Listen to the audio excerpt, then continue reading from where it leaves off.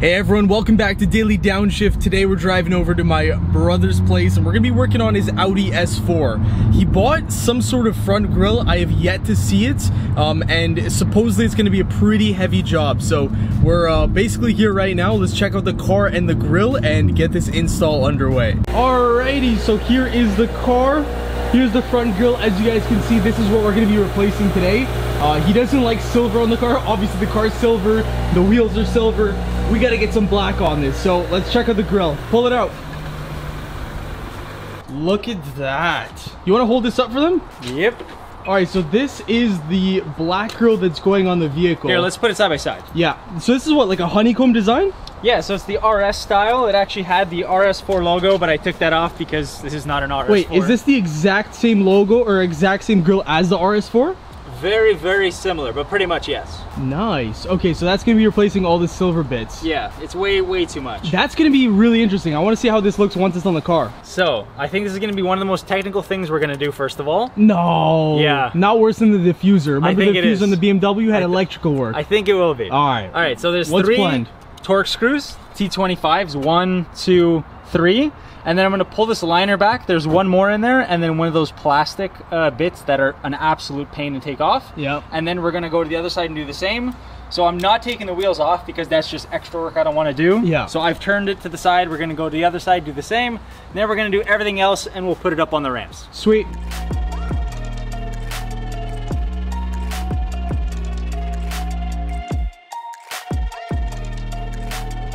So we just went ahead and pulled off this uh, this liner here.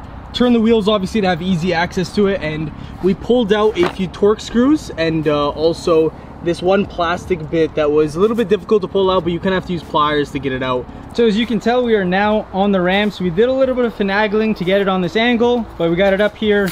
Hood is open. We're gonna pry off this guy now. Yo, are we putting a bigger turbo on it or something? oh my What's goodness. I wish. Oh, those beautiful cats. You gotta cats. get those. You gotta get those sport cats in I there know, eventually as I well. know, we need that power, but this thing first, so let's Yeah. keep going. So this piece came off very easily, just push this tab in, pop it straight off, and now we're gonna take this guy off. I believe you just, oh, that was it, okay. Pull this up, Easier done than said for for once. yeah. Oh, well that was the easiest thing ever. Oh, nice. And got torque your- screws. You got your rad here. Yep. You got the intercooler down there. Now the easy part, four screws. Finally, for once, we have somebody doing some work. How many of them are there there? Seven? It's seven, but honestly, I'm not even removing them. I'm, I'm basically sunbathing down here, bro. Love it. It's real nice and warm. It's like a sauna. Love it. Getting closer and closer. Okay, so we are now pulling the bumper off. We just pulled the sides, and what'd you say we have here? Dude, that fly just got destroyed. Oh man, I feel bad for him. Oh my goodness. Look at that. I think he might have been he might have been stuck in there for for a while. This might have been since 2018. brighten it up and as you guys can see there's a couple wires here. One right here we may have to unplug. We got another one right here. A couple wires we're gonna have to unplug. All right guys as you can see we have the bumper off. At this point we're just trying to unplug a couple of wires that are you know being held onto the car. That way we can work on it very easily. Um, i think the last wire that we have on both sides is the driver assist. Um, so we're just trying to get that figured out and once we do we'll be good to go alrighty so we got the whole front end off it looks kind of crazy without that on we got what crash bar right here Yep, we got the crash bar. You got this guy that needs to be changed. Yeah, You know there's the what that is. intercooler. We're getting Yep. uh, aftermarket definitely because that's that's a little baby, huh? Yeah, it actually really Definitely is. not good enough for the track, or if we want to do some stage two tunes for this. Probably gonna vinyl wrap the crash bar as well because it's gonna look kind of hideous with a black grill. Yep. And then take a look at this front bumper, guys. We got a lot of wires that we basically have to disconnect here, all over the place. Alrighty, guys, we have the new grill here. Looks so much better in black.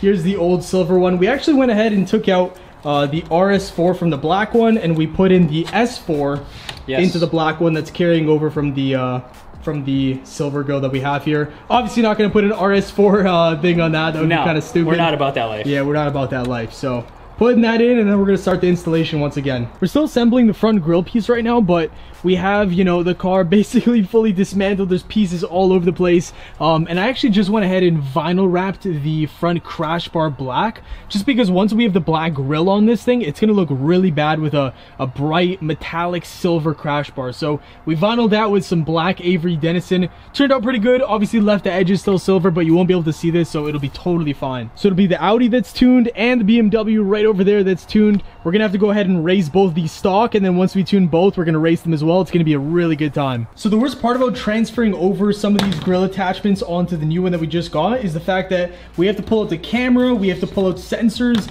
and transfer that stuff all over. And we also want to go ahead and uh, vinyl wrap all the silver bits on the actual bumper black. So quite a difficult thing and it's going to take us plenty of time. As you guys can see, we are losing some daylight. It's been taking us a long time. We're about five hours in and I'd say we're only about halfway done. So we are still here. It's about 11 o'clock. You are wrapping that nice little edge there. Oh yeah. And uh, Tough job, tough job. Yeah. But hopefully it's gonna be worth it because we put a lot of work into this. We are transforming, um, honestly, the whole front of the car. Yeah. We're gonna be here all night, but honestly, once you guys see the end product, it's gonna look so good. Yeah, the car is still jacked up. You can just see it with the hood open. So hopefully we don't get robbed or something. All right, we have the grill here nicely buttoned up. I still have to do the sensors and the wiring, but this is pretty much it. I am psyched to be completely honest. Let me know what you guys think of this compared to the chrome. I think it's night and day. Nestor's wrapping the Yeah. Black and then we're gonna put that back in. Uh, shout out to Can Auto Performance for helping us with this. This thing is beauty. Alrighty, we got the grill, Moment of truth. putting it up to the box. Now, do you want to tell them how difficult this was? It's like 3 a.m. We've been at it since what 3 p.m. Yeah, we've been at this for 12 hours almost. This is like I'm excited to see this, but I'm beyond annoyed right now. Up, Let's see what we're working with here.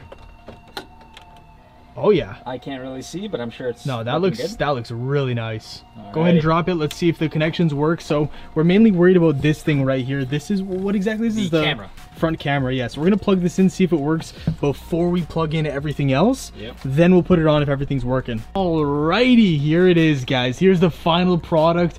We just bolted everything on the car. How do you feel, man? How do you feel about it? Oh, I'm so tired. It's 4 a.m. It's 4 a.m. I know. This was a 14-hour job. Look, the grill is fantastic. It does so look happy. great. I can't wait to see it tomorrow. And more importantly, I'm gonna put the Quattro rating on the bottom that we don't have there. And if I can, I'll put the S4 badge, and I love it. But like, this is ridiculous. This is what 12 hours? Yeah, this took us a long time mostly because like so many of the clips gave us issues. We had some screws, we had to file down some stuff to make it fit. the camera. Kind of crazy. Yeah, it was too much tech. Just Mostly because you have like parking sensors over here, you have a front camera that we had to file down right there. A lot of tech on this car, so it made the installation a lot more difficult. All right, guys, but that is going to do it for the video. Thank you all so much for watching. If you enjoyed, smash that like button, subscribe for more daily car content. We got to have a race pretty soon between us, huh? we definitely do. Yeah, so stay tuned for that, guys, and we'll see you in the next one. Peace.